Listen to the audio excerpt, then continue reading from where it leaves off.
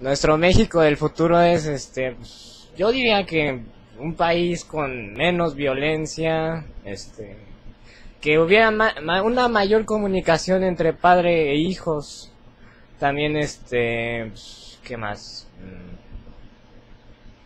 Que, que tuviéramos, eh, exacto, mejores instalaciones, eh,